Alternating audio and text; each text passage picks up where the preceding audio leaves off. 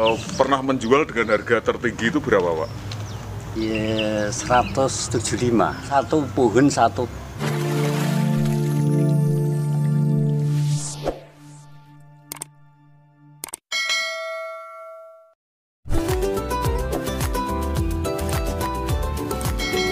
Jawa Pongki.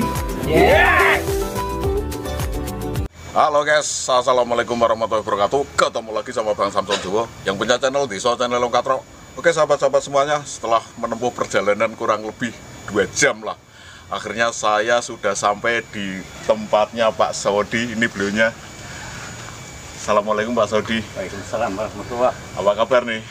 Baik, sehat. Masih konsisten sama bonsai ya? Ya, memang pekerjaan nih. Ya tetap. Oke Pak Saudi ini salah satu yang jadi andalan jenengan nggih untuk program Enggak, ini ini yang kelas Ya. B. Kelas B ini ya. Kelas B. Oh iya, nanti kita bisa ke kelas yang lain. Kelas A. Untuk ini Pak, ini kan eh, saya sedikit pengen tahu lah mengenai program jenengan ini untuk tampak jenis belakang, ini tampak depan Oh, iya. ini. ini untuk jenisnya geometri atau black olive Pak ya. Sama saja, Black Olive itu nama lokalnya dari sana, Geometri nama latennya. Dan Iya. mengatakan Busida atau Black Olive atau Geometri. Geometri nama laten. Oh iya iya iya. Namanya cukup ngerepoti tapi yang lebih gampang itu memang black olive Black Pak. Olive.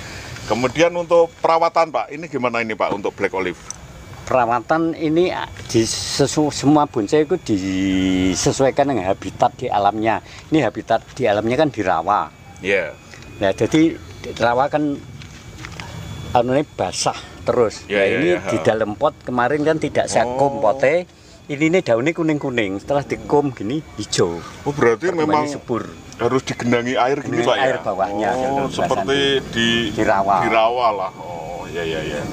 Semacam kayak tanaman bako gitu ya? Teman-teman Pak. Oh, Nah, iya. Seperti ini kan dua tahun belum saya ganti pote masih subur. Oke sahabat-sahabat semuanya kita mencoba untuk menelusuri di lahan ground ya untuk black olive ini yang dibudidayakan oleh salah satu penggiat bonsai di khususnya di Indonesia yaitu eh, untuk Bapak Saudi Bapak pembudidaya Indonesia yang cabangnya baru tak tempeli. Terus ini nak buka buka lagi nutup ini kok sing pang ke bang dua ini kok dipotong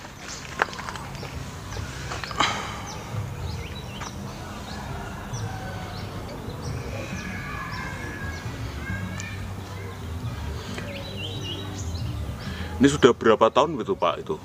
ini Black olive. 12 tahun 12 tahun.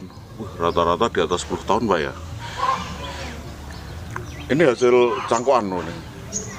iya cangkukan dari kecil saya rokok filter Oh, iya iya iya. 12 tahun.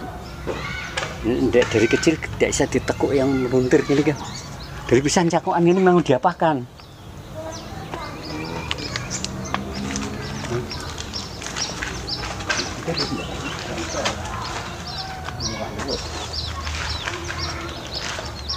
Jadi seperti ini sahabat-sahabat semuanya memang untuk Pak Saudi ini eh, membuat alam seperti aslinya.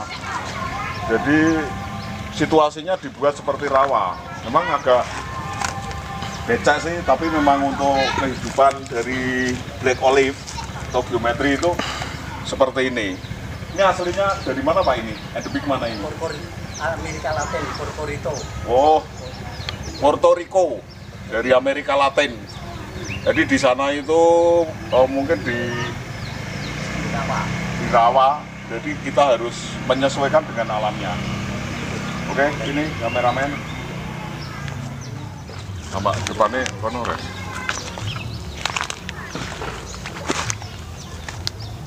Ya, itu sistemnya kan satu cabang ini.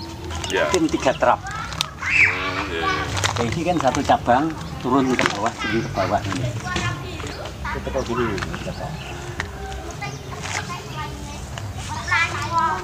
Depannya sini. Ke bawah sini. Ya. Akar indah.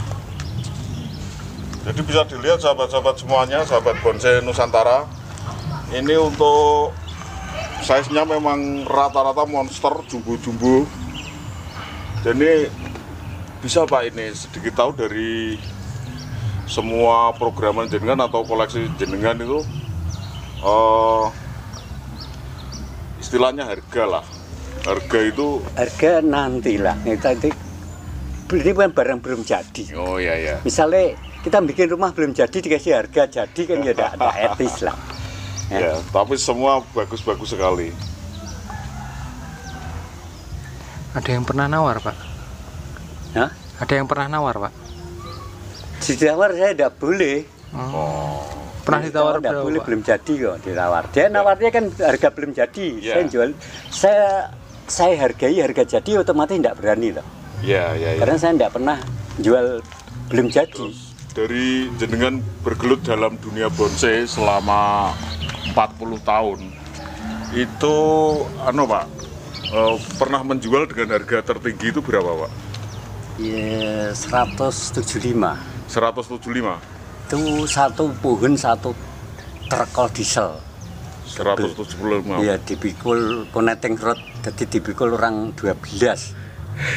Potnya 2 meter lebih. Itu untuk jenis apa Pak itu? Dulu cemara udang. Cemara udang. Iya. Connecting road. Nah terus satu Iya. pohon satu pot itu satu satu truk double. 175 ya. Mantap. Oke, kita lanjut. Di kabeh iki kan lekoli.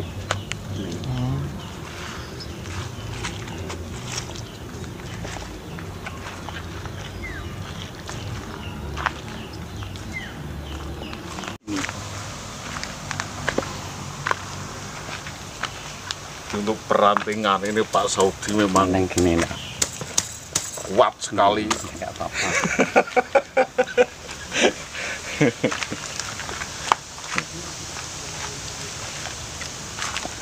Jadi semuanya Pak, seperti ini nanti harus kuat gitu yang juga. pas ada ya semuanya harus seperti ini. Harus Ini kuat. Kuat gini baru naik pot. Kalau ini langsung pahit tidak mungkin segini. Jadi untuk mencoba peran kekuatan perantingan itu kalau tangan itu sudah biasa. Pak Saudi pakai kaki, tapi kalau saya tidak berani.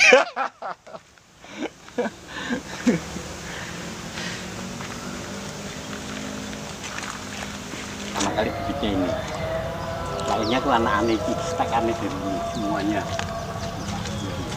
Berarti ini yang termasuk paling lama Pak ya? Yang lama. Pertama kali itu.